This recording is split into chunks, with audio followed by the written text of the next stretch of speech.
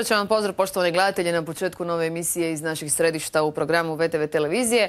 Ovog puta u narednim minutama pričamo o aktivnostima i to brojnim aktivnostima na području općine Gornji Kneginec. Nekako je uvijek obilježavanje dana općine prilika da se osvrnemo na ono što je napravljeno, a općina Gornji Kneginec jedna je od onih u kojoj čini mi se da nema ni ljetnih e, stanki ni godišnjih odmora.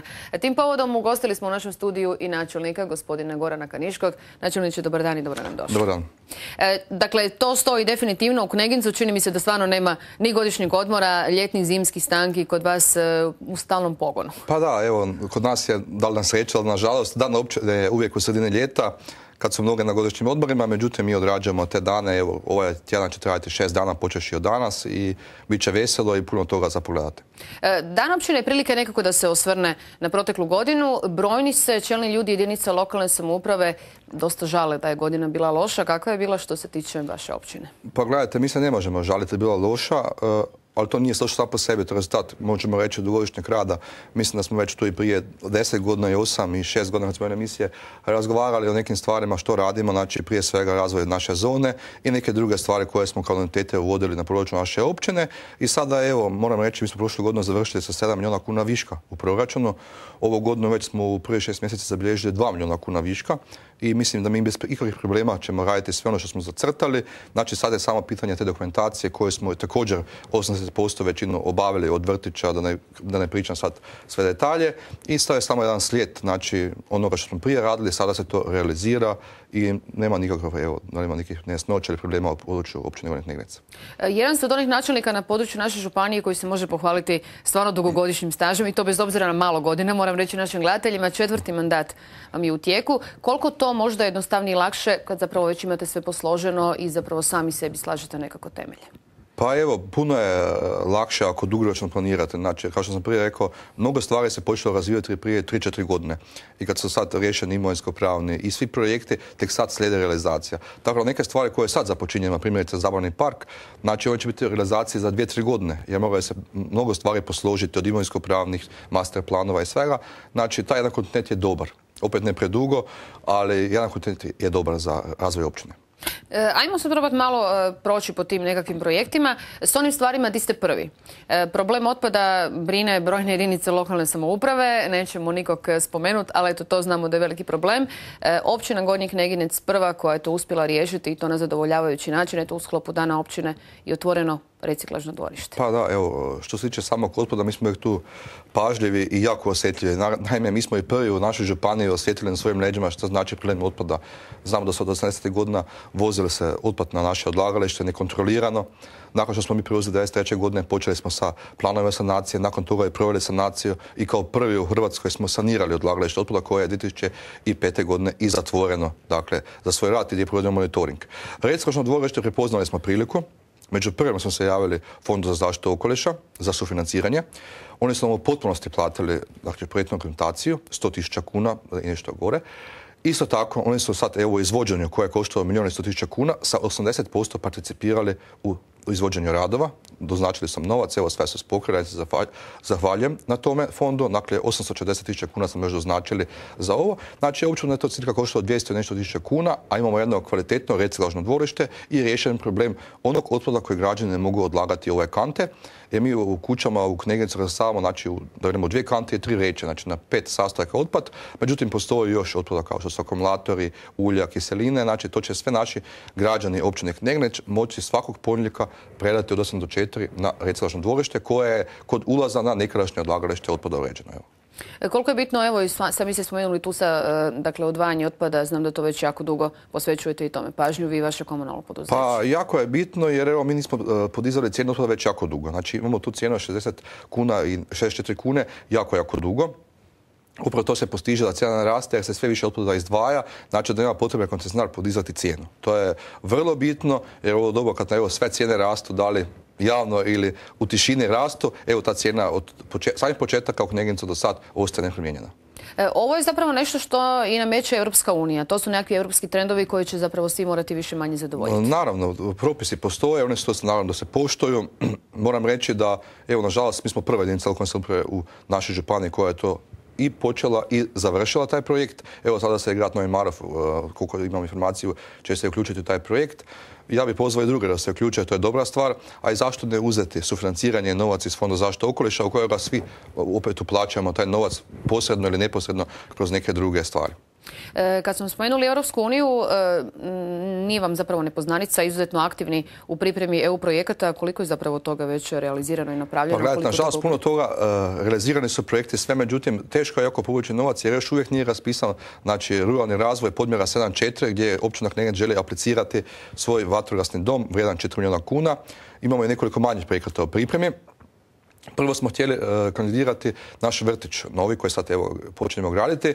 Međutim, nakon dvije, tri godine pripreme toga, sjetili su se u ministarstvu, znači nacrtom pravilnika, da se neće moći kandidirati veći projekti od milijun eura, znači od 7 milijuna kuna, veći projekti. A naš vrtić je 12,2 milijuna kuna. Mi potreba za manjim ne trebamo, sad imamo dva manja, mi trebamo veći. Znači, i tu idemo sami, znači, dijelom uh, zaduženja kod poslovne banke gdje smo dobili odlične kamate, dijelom, znači, svojih e, proračunskih viškova i to ćemo ove godine započeti gradnju čistine e, suglasnost resornog ministra.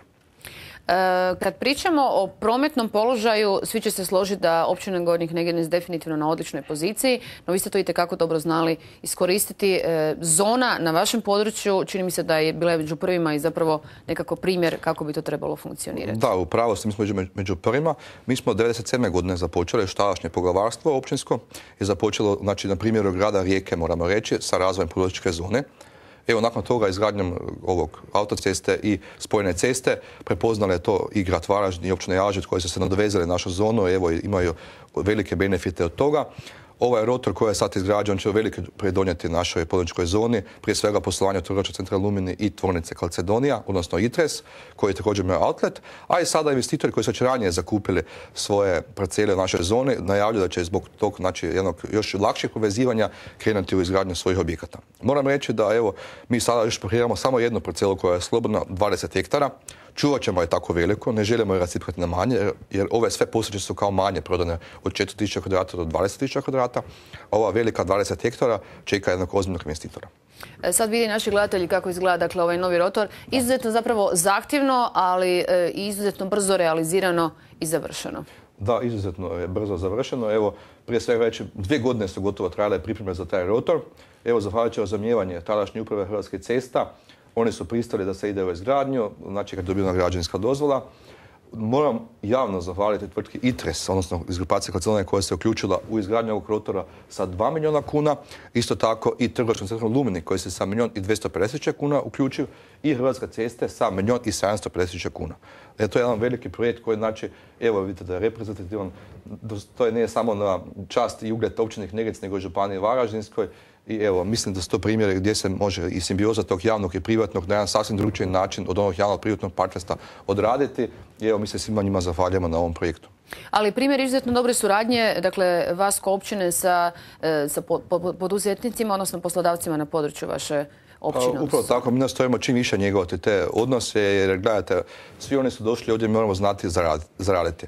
Ali isto tako, oni su svjesni da moraju nešto i pružiti lokalna zajednice i mi upravo na tome insistiramo.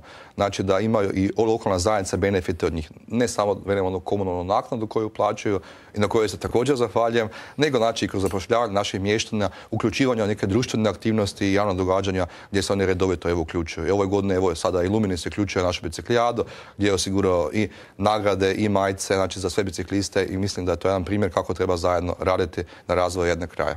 E, kad smo počeli nekako s prometom i sa kružnim tokovima, e, ima još aktivnosti na tom dijelu. E, nastavlja se nekako i ta briga o dodatnom povećanju sigurnosti prometovanja. Naravno, to redovito radimo. Evo sada smo se uključili u nacionalni program sigurnosti na cestama, gdje nam je znači, Ministarstvo unutarnjih poslova i Vlada Republike Hrvatske izašli u susret i znači, odobreno je 1,1 milijun kuna za izgradnju još jednog rotora u Kućanskoj ulici. Dakle, to je jedno križište koje je sada čvor prema zoni Jažbet i prema našoj zoni sjeveroistok. E, ukupno vrijednost 1,6 milijuna kuna. Natječaj je raspisan, čekamo odobro izvođača radova i ove godine mora biti odrađen. Samo da vidimo ovaj veliki rotor koji je bio, evo gdje smo prilike na ekranu vidjeti, e, on je odrađen za dva mjeseca. Znači, tvrtka Kola se to izuzetno dobro odradila. Odlično je bilo i da koordinacija od strane Hrvatske cesta i to je rezultiralo jednim ovakvim lijepim rotorom. Što se tiče ostalog prometnog dijela, nerazvrstanih cesta, onih manjih zahvata... E, rade se to redovito, ima puno manjih akcija. Mi smo ove godine već šest odvojaka dakle, asfaltirali. Sada je u postupku natječaj, natječaj za odobro izvača radova za Solarovo na Malom vrhu, za Štimče odvojak. To su sve, moramo reći, veliki odvojki i jako dugi preko 900 metara. Isto tako i Vinogradske ulice u lužano pečkom I isto ćemo tako u Knegincu spojiti pozna naš kraj od Knekoma prema ulici Bana Jelačića, znači jedan dio gdje smo sad prošli sa srednje naponskim kabelom za potrebe gradnje novog vrtića i trafostanice od njega. I nakon toga kreće i sanacija tog dijela, znači asfaltiranje te ulice, odveke ulice. Eto sad i taj dio vide naši gledatelji, dakle kako to lijepo izgleda. Puno se radilo i na e, postavljanju rasvjete, dakle stvarno puno brige posvećujete i tom dijelu. Naravno, evo, taj komunalni dio mora ići znači, usporedno sa ovim dijelom investicija, to, znači taj komunalni dio najviše ono građani osjete. Evo sada smo i Županijska uprava ceste u postupku širenja ceste kroz drugi vrh. Nakon te ceste mi krećemo također sa postavljanjem javne raste uz taj dio koji je do sada bio neosvjetljen. Dakle, općina je bila preuzela na sebe rješavanje imovinskog pravnih pitanja sa državnim uredom za upravljanje državnom imovinom. Evo, nakon dvije godine pri kraju smo tog postupka i znači moći će krenuti izgradnja te javne rasvete. E, puno se priča oko toj štednoj javnoj rasvjeti, hoće li takve biti? Biti će takve. Prvo tako ćemo postavljati na području Tročina u, u odvojku u Bužanićevoj ulici gdje ćemo znači, negdje kasnije na jesen krenuti sa postavom te prve štedne rasvjete. Kakva je situacija u onom vodovodnom dijelu? U vodovodnom dijelu je evo, situacija dobra, sad se mijenja evo, gotovo kilometar i nešto kroz ulicu Halić, pri kraju su radovi. Znači, slijede asfaltiranje, znači ti, da vedemo, gdje su Zakrpa i svega gdje su znači, prolazili. To je bio jedan veliki posao na čemu se zahvaljujem tvrtke Varkom koja je to provela. U suradnji sa županijskom upravom nastojat ćemo ove godine prići sanaciji klizišta na toj, na toj cesti, a nakon toga početkom iduće godine i polaganju završnog sloja asfalta. E, radili smo i vodovod znači, između uh, Opličke ulice gdje sada znači, ćemo se graditi novi vrtić, već je postojeća i škola, da smo taj dio kvalitetno riješili. E, spomenuli ste klizište, to se nekako veže na ono da nema za vas godišnjih odmora i ljetne stanke, e, ako se ne varam upravo sad u tijeku sanacije. Da, je sanacija klizišta na ulici Solarovom, jer ta ulica Solarovo inače bila prošle godine priđena za asfaltiranje, međutim nastalo je klizište, pa smo sada morali prići sanaciji klizišta, projektna dokumentacija je izrađena, provedjen natječaj, izabran je radova i radovi traju i oni će biti negdje gotovi kroz jedan do dva će biti kompletno gotovi i nakon toga kad odoberemo izvođača radova za asfaltiranje moći ćemo cijelu dionicu te ulice asfaltirati. Ima li još klizišta? Jesu li ove promjene vremena stvarale? Ima puno vremena klizišta na privatnim parcelama koje su, moramo jasno reći, nastale djelovanjem ljudi koji su, znači, kod nas se dogodilo slučaj su nam po Varaždin bregu mnoge vikendice kupili ljudi iz Varaždina koji su se gore doselili. I tada su, moram reći, mijenjali, mijenjali su prirodno ono stanje stvari i gdje su to po 50 godina bile vikendice na miru, oni su išli raditi velike terase i da ne, ne pričam sad sve, znači iza tih vikendica na strvim padovima i gdje su doslovce pustili oborinsku vodu pod zemlju i sada su se dovoljila ta klizišta koja su, evo, moram reći, prije svega nastala njihovom krivnjom. Mi se uključujemo koliko možemo, međutim, ne može uopće nas nositi takve stvari gdje nije nastalo, da velim, samo čistom prirodnom, nekom pojavom ili djelovanjem javne infrastrukture. I na području vaše općine bilo je zapravo nužna regulacija riječnih tokova. Kakva je bila situacija s poplavama pa da, evo, to je bilo izuzetno nužno jer evo, Hrvatske vode su uzvodno, moram reći, prema Vidovcu i sve, očistili reko Plitvicu i sve kanale i tada su ubrzali dotok vode, znači naš dio rijeke Plitvice. E, dogodile su se one poplave koje su se dogodile, mi smo žurno reagirali i sa Hrvatskim vodom dogovorili daljnje akcije. Sada je kod nas Plitvica ne samo da je proširena, ona je i produbljena, što je vrlo bitno zbog znači, protoka. Isto tako mi smo sa njima izgradili nasip koji je transliran skroz moram reći, 50 metara gotovo do granice našeg građanskog područja. Tako da i kod izljevanja reke Plitvice veće voda opet imamo jedan rezervar vode, znači koji znači, ne ugrožava onda građanski dio naše poduzetničke zone i naselja Kneginec. Isto tako i potoci Cukavec, Mozdrenjak su već e, riješeni sa hrvatskim vodama. Isto tako i potok Šajevo koji znači sa vanjske strane naselja Tročin prema Črnco. I sada evo kod zadnje ove kiša je malo bilo, vidimo negdje problema, kod nas nije bilo, hvala Bogu, i nadam se čak ostati i u budućnosti. I koliko se uspjeva zapravo sukladno proračunskim mogućnostima nekako paziti, a čini mi se da vi to jako dobro radite, taj ravnomjerni razvoj svih dijelova vaše Pa nastojimo čim više to radite. Naravno da ne možemo novčano to sve pokriti. Recimo, ako će biti vrtić u naselju Gornji Kneginec, ili ako investiramo u groblje, onda to ne investiramo samo u gornji Knegnec. Nek to je onda i za naselja i za Lužan i Varaždin, Rijeke, Donji Knegnec. Gledajući manje komunalne akcije koje se tiču samo pojedinog, tu smo znači negdje u razini. A ove kapitalne stvari naravno da mora biti u središtu. Znači ne može imati svako e, selo vrtić i svako selo osnovnu školu. Ne? To mora biti u centralnom mjestu, ali ostalo sve vodimo brigu. A što se tiče same ti nekih stvari, mi smo evo, ove radove koje smo prije nabrojili i na rotoru i na reciklažnom i sve, to su stvari koje su teške, financijske 7,7 milijuna kuna. Mi smo za to privukli, znači druga sufinanciranja preko 6,7 milijuna kuna. Znači 90% smo mi novce, i imamo svoje novce, mi smo dovukli iz drugih izvora.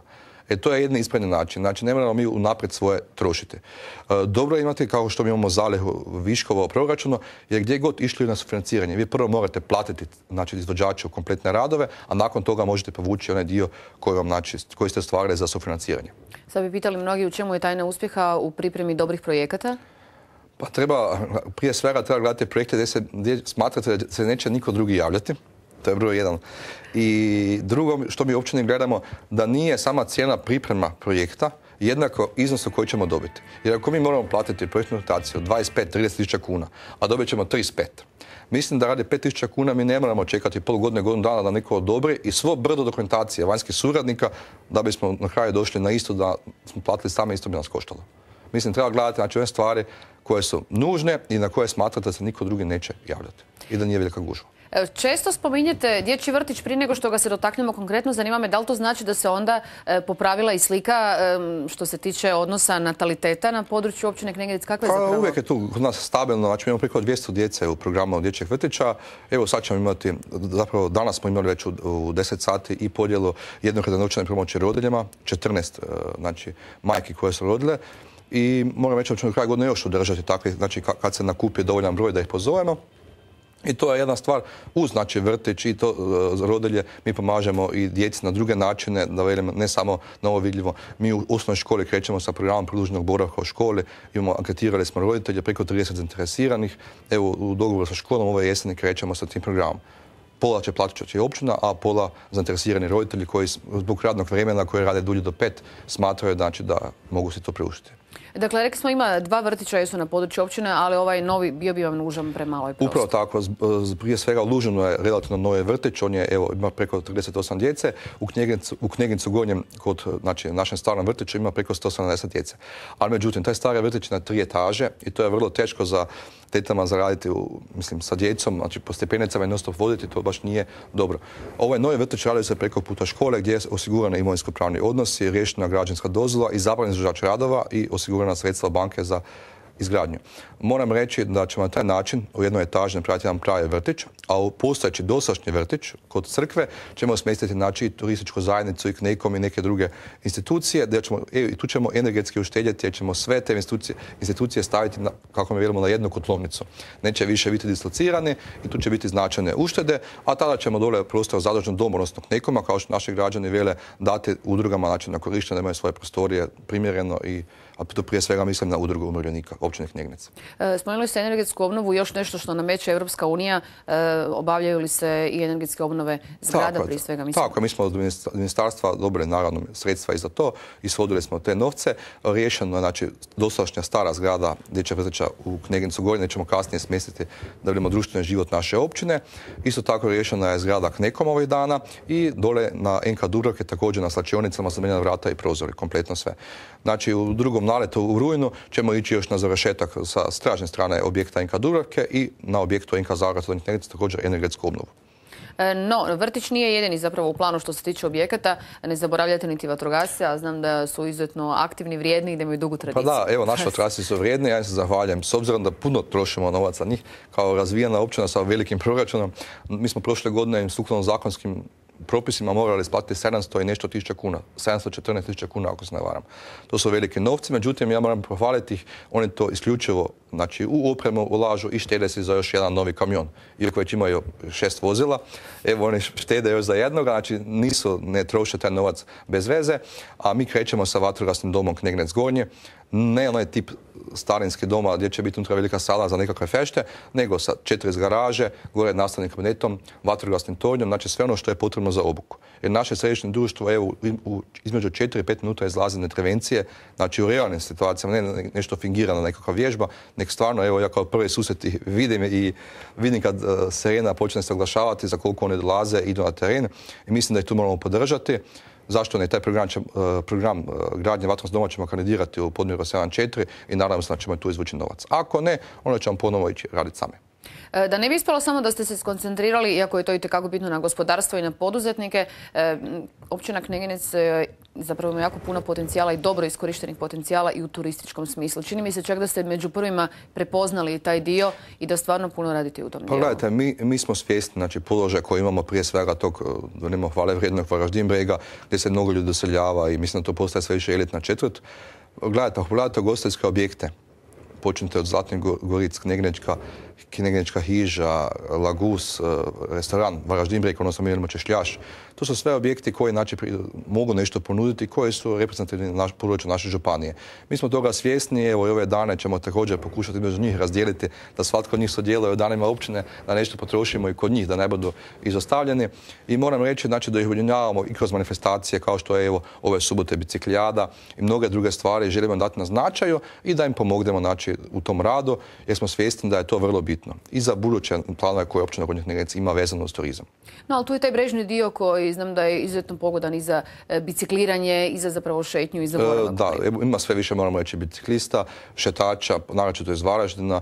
Evo, ja im se zahvaljujem što je posjeću našu općinu. Vidimo da su izuzetno nam je to drago. To su većinom sve kulturni ljudi, znači tu nema nikakvih problema ja ih pozivam da se čim većem broju odazivaju i da naš Varaždinik obilaze i da, evo, za njih su nekoliko stvari pripremljene i nadsrešnice, sve, nekoliko izvora. Oni već to znaju i redovito, evo, to hodočaste i nama je drago na tome. Još jedna obaveza koja se pritišće jedinice lokalne samouprave, to je izrada i tog master plana, to u tome i vi. E, znači nije master plan, mi ćemo raditi prije svega za e, turističku zabavnu zonu Varaždin Breg. Znači mi želimo kroz master plan dati potencijalnim investitorima koje imamo, znači sada traje raspisivanje natječaja, želimo reći što je naša prednost za izradu zabavnog parka na području općine Kneginec, što mogu očekivati u okruženju, kakvi su zabavni parkovi u okruženju i znači one kapacitete ljudi koji tu gravitira našoj lokaciji na pol sata, na sat, na pola dana našoj lokaciji. Znači to će trajati e, oko 5 do 6 mjeseci izrada, moramo reći, tog master plana, ali nakon toga ćemo imati sve gotove papire da možemo razgovarati sa investitorima dalje. Mi već razgovaramo sa njima dvije godine, moramo to reći, međutim čekamo da se vojska iseli. E, zapravo izuzetno veliki broj vikendaša na vašem području. E, prednost ili nedostatak? Pa gledajte, ima to svoje prednosti i nedostatke. Mi imamo 1600 domaćinstva u našoj općini i 1700 vikendica. Znači, to je u jednom komunalnom smislu to je veliko opterećenje gledate. Znači, to je zaporeno stanovanje, to su brojni odvojci ulica koje treba i posvatirati, javna rasta svijetli, bez obzira da li je neko unutra ili ne. Dakle, vikendaška naselja. Uh, u jednom dijelu moram reći, znači, prihodovno nam je isto, da li je neko stanovnik ili neko vikendaš. Uh, nedostaci pojedine su ponekad nađemo smeće šumi, međutim efikasno pronalazimo počinitelje. To je naša mala tajna na koji način. Uvijek imamo dokaze, hvala Bogu, ali sve ostalo mislim da je u redu. Evo, vidim, ta slika se i popravila gore na Varaždin bregu, jako dobro i uređuju. Ako neko ne uređuje živice, mi ga upozorimo. Evo, tu smo efikasni i sve je za sad dobro. E, ima li još uvijek interes? Jedno vrijeme znam da je bilo masovno kupovanje kuća i baš iseljavanje čak i iz Zagreba su brojne obitelji došle živjeti na području Pa da, to se događa. Ja moram reći, ko se vozi našim Varaždinom vidi kakve se gore građevine grade. Mi naravno štitimo te ljude u njihovoj privatnosti, oni su došli u Kneginec, da pače da je čim više tako veliki investicija na području Varaždin brega, infrastruktura im je spremna, da, ima izvučnih imena i mi smo ponosni na to i da pače, neka dođu, evo, neka uživaju u intimi na Varaždin bregu i neka lijepo gore se provode.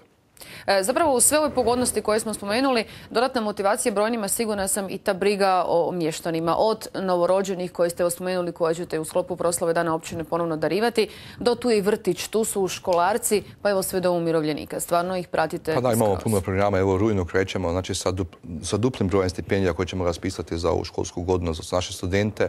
Urednicima smo ove godine dali ove uskrsnice i također ćemo dati, mogu već sad reći, iduće godine, jer općina dobro postaje, zašto ne bi i oni to osjetili na svojoj koži. To je gotovo 1900 korisnika, znači tih umirovljeničkih danima uskrsnica na 5600 stanovnika. Moramo znati da je to velik broj, ali evo mi ćemo ih ponovo se sjetiti iduće godine. Znači niz programa mi, znači ne samo i novčano i kroz programe razne nastojimo biti na usluzi tim ljudima i mislim da su to ljudi prepoznali jer evo bez utručavanja oni nazovu uopće nešto trebaju i to je, to je biti. Ne pozivam ljude da se odazovu jer ako nešto mi ne znamo kao općina mi ne možemo im pomoći. Znači pozivamo da se slobodno jave i da to rješavamo zajednički. Koliko studenta imate, koliko stipendija je to? Imamo gotovo 60 studenta, međutim, uh, mi godine, svake godine raspisamo, javljamo se oko 17-18 samo.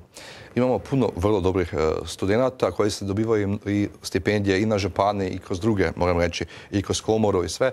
Tako da nama će negdje, mi ćemo raspisati oko 25 stipendija, mislim da će nam oko 20 ući. Evo, da ćemo uglavnom više nego što će se javiti. Puno je tu i udruga, sada da ih ne nabrajamo sve, mogli bismo puno o njima, ali svi će oni zapravo dati svoj obol u proslavi e, Dana općine. E, dugo će zapravo trajati, evo možda da probamo ono najvažnije istaknuti. Pa evo, počelo je vrijeme Dana općine danas, trajat će do nedelje. Prije svega tu pohvaljam naše udruge, evo udruga žena Đuđice, udruga Vinogradara Vočara Raždimbre, koje će imati svoje događanje na sam blagdan Sveta Marija petak.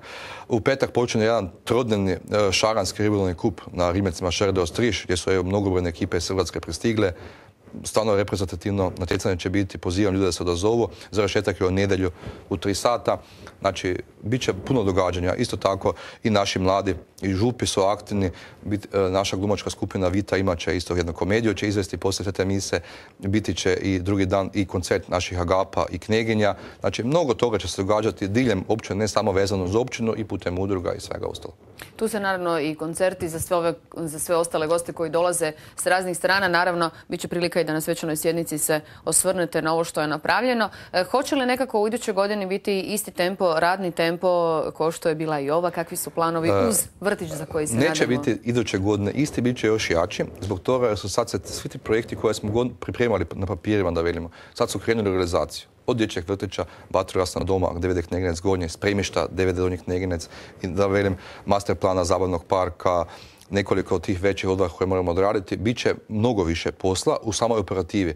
Jer mnogi vide uvijek samo tu operativu, međutim ne vide da smo mi godinu dvije pripremali projekte, kandidirali građanske dozvole, ono što je najbitnije i najbolnije u Hrvatskoj imovinsko pravne odnose rješavali. Kad nađete u gruntovnici još na da velimo bivšu Austro-Ugarsku, onda vam je sve jasno koliko posla moramo odraditi. E, puno toga će se odraditi i mislim da će godina biti puno žešća u smislu operativa nego što će biti ovo. Jel to znači da se oporavlja stanje u Hrvatskoj ili zapravo je to samo nekako nastavak ove dobre tradicije koja je bilo u proteklih godina? Pa teško je reći, dobro, u Hrvatskoj se, evo, moram reći, usjećamo, ali da je krenulo bolje. Međutim, mi smo puno toga planski radili kroz dvije, tri godine i pripremali i štedjeli novac u proračunu da sad ovo krenemo realizirati. Naravno da to što ćemo mi investirati, to je preko 10, gotovo 20 milijuna kuna. Da će se osjetiti gospodarstvo Varaždinske županije koliko će općina Kneginec sad u godinu investirati u te naše projekte kapitalne. Čini mi se dakle da godišnjih odmora i praznika i dalje nema za vas, da će se nastaviti i dalje. Načelniče, čestitke prije svega na svim ovim odrađenim projektima i eto puno uspjeha želimo i dalje i čestitke i vama i svim vašim mještanima na danu općine. Hvala i vama. Ujedno iskoristim priliku da pozovem i mještane općine Kneginec i žitelje Varanjske županije da se dozovu na sve manifestacije i ove koncerte Dražna Zečića, Slavonskih Lola i sve ostalo što smo pripremili. Naravno, kao uvijek u Knegincu je ulaz slobodan, nema nikakvih ulaznica. Odazovite se, zabavite se, bit će nam drago što ste našli gosti. Hvala vam lijepa i čestitke još jednom. Hvala. lijepa. Hvala vam poštovani gledatelji. Bila je ovo još jedna emisija iz naših središta. Do novog susreta. Srdačan vam pozdrav.